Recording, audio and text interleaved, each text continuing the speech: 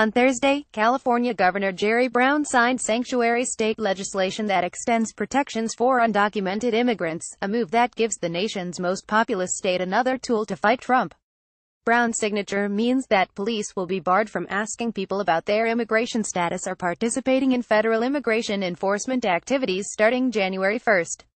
Jail officials only will be allowed to transfer inmates to federal immigration authorities if they have been convicted of certain crimes. These are uncertain times for undocumented Californians and their families, and this bill strikes a balance that will protect public safety, while bringing a measure of comfort to those families who are now living in fear every day, Brown said in statement.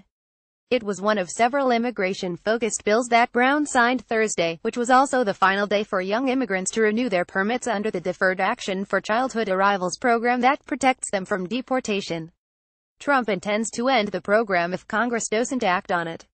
California is home to an estimated 2.3 million immigrants without legal authorization.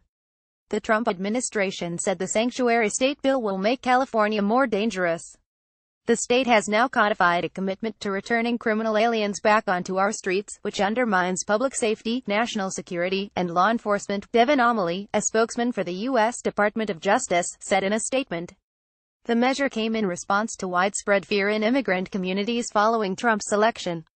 He railed against immigrants in his campaign and promised to sharply ramp up the deportation of people living in the U.S. illegally. Democrats hope blocking police from cooperating will limit the reach of U.S. immigration and customs enforcement officers. The bill will put a large kink in Trump's perverse and inhumane deportation machine, Democratic Senate President Pro Tem Kevin De Leon said at a press conference in Los Angeles celebrating the signing. De Leon's bill cleared the legislature with support only from Democrats. Republicans said it will protect criminals and make it harder for law enforcement to keep people safe. The bill, SB 54, originally would have severely restricted the authority of police officers to cooperate with federal immigration authorities. At Brown's insistence, it was scaled back to allow cooperation in jails.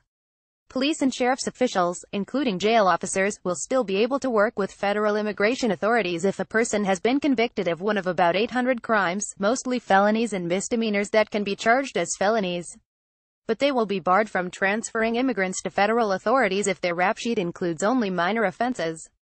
The changes convinced the California Police Chiefs Association to drop its opposition, while sheriffs, elected officials who run jails, remained opposed. ICE Acting Director Thomas Homan has condemned the measure, saying, California is prioritizing politics over public safety. California's Democratic political leaders have enthusiastically battled Trump and his administration with lawsuits, legislation and fiery public rhetoric, particularly about immigration and the environment. Among other things, the other bill signed Thursday by Brown will limit federal immigration authorities from entering schools and workplaces without warrants, prohibit landlords from reporting tenants to ICE and stop local governments from contracting with for-profit companies and ICE to hold immigrants. Some law enforcement officials say the impact of the sanctuary measure likely will be minimal because it bans immigration enforcement activities that few agencies participate in. Immigrant rights advocates say it's important to codify restrictions with the force of law while adding new ones. For them, it's a rare victory during Trump's presidency. The measure was dubbed a sanctuary state bill because it sought to expand so-called sanctuary city policies that have long been in place in some of California's biggest cities, including Los Angeles and San Francisco. Brown, though, has resisted the label. In his signing statement, he noted the bill does not prohibit ICE from operating in California. They are free to use their own considerable resources to enforce federal immigration law in California, Brown wrote. De Leon put it somewhat differently. It won't stop ICE from trolling our streets, he said.